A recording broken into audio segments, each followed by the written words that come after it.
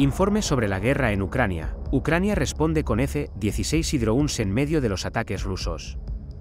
La guerra en Ucrania continúa escalando en intensidad, alcanzando un nuevo punto crítico en el día 917 del conflicto, con un despliegue notable de misiles y drones tanto por Ucrania como por Rusia.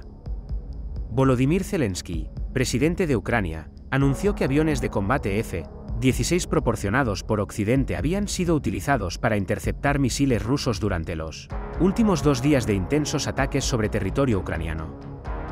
Esta declaración subraya la necesidad de más aviones y entrenamiento para los pilotos ucranianos. Mientras tanto, drones ucranianos han prendido fuego a varios tanques de petróleo en el depósito de Glubokinskaya, en la región de Rostov, en Rusia.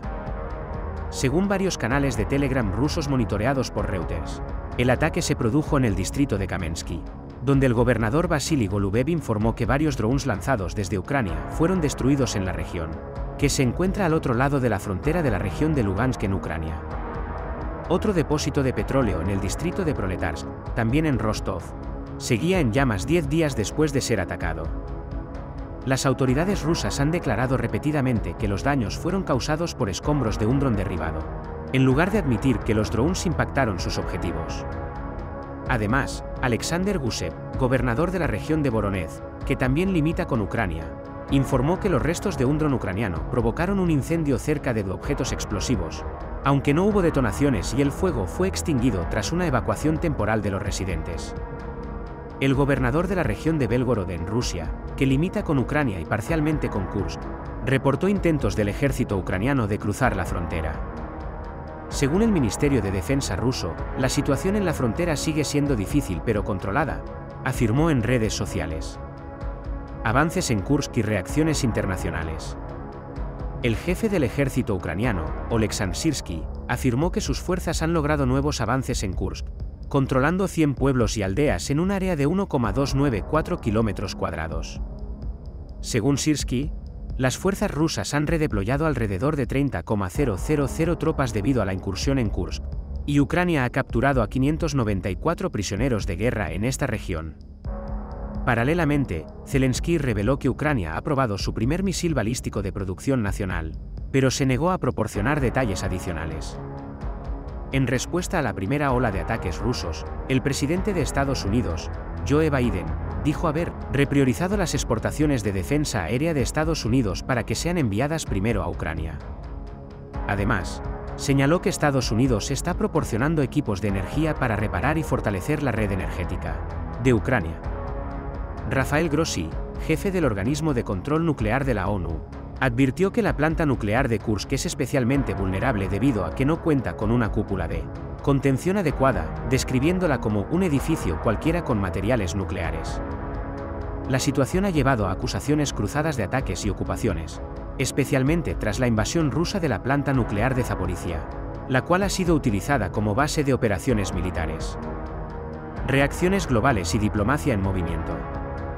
El presidente Zelensky declaró que la guerra eventualmente terminaría a través del diálogo, pero que Kiev debía encontrarse en una posición de fuerza durante una cumbre que espera convocar este año para avanzar en su visión de paz.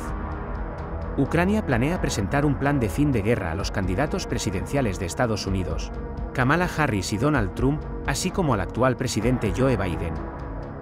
Este plan incluye pasos adicionales en los frentes diplomático y económico. Por su parte, Jens Stoltenberg, secretario general de la OTAN, ha convocado una reunión del Consejo OTAN-Ucrania a solicitud de Ucrania. Se espera que el ministro de Defensa ucraniano, Rustem Umerov, informe a los aliados sobre la situación en el campo de batalla y las necesidades de capacidad prioritarias. India también ha mostrado su apoyo a una resolución pacífica del conflicto. El primer ministro Narendra Modi, tras su visita a Ucrania, afirmó que comunicó a Vladimir Putin su respaldo a una pronta solución duradera y pacífica del conflicto. Impacto y desafíos en las zonas de conflicto. En el sur de Ucrania, la ciudad de Pokrovsk, una encrucijada estratégica de carreteras y ferrocarriles, enfrenta una intensificación de los ataques rusos. La ciudad, que alberga una importante universidad técnica y una mina de carbón vital para la economía ucraniana, está siendo evacuada parcialmente ante el temor de que caiga en las próximas semanas. La pérdida de Pokrovsk podría tener graves implicaciones para la defensa de otras localidades ucranianas en la región de Donetsk. En Kramatorsk, el ataque con misiles rusos contra el Hotel Sapphire resultó en la muerte de Ryan Evans, un asesor de seguridad británico de Reuters, y dejó heridos a varios periodistas. Evans era un veterano soldado británico con experiencia en asesorar a periodistas en zonas de conflicto, incluyendo Ucrania e Israel. Zelensky condenó el ataque calificándolo de deliberado y calculado, destacando que los hoteles son utilizados principalmente por civiles. Inversión y respuesta militar de Ucrania. El ministro de Defensa ucraniano, Rustem Umerov, informó que Ucrania ha invertido 7,000 millones de dólares en la adquisición de armamento doméstico en 2024, enfocándose en drones y sistemas de guerra electrónica. Esta inversión ya, informe sobre la guerra en Ucrania, Ucrania responde con F-16 y drones en medio de los ataques rusos. La guerra en Ucrania continúa escalando en intensidad, alcanzando un nuevo punto crítico en el día 917 del conflicto, con un despliegue notable de misiles y drones tanto por Ucrania como por Rusia. Volodymyr Zelensky, presidente de Ucrania, anunció que aviones de combate F-16 proporcionados por Occidente habían sido utilizados para interceptar misiles rusos durante los últimos dos días de intensos ataques sobre territorio ucraniano. Esta declaración subraya la necesidad de más aviones y entrenamiento para los pilotos ucranianos. Mientras tanto, drones ucranianos han prendido fuego a varios tanques de petróleo en el depósito de Glubokinskaya, en la región de Rostov, en Rusia. Según varios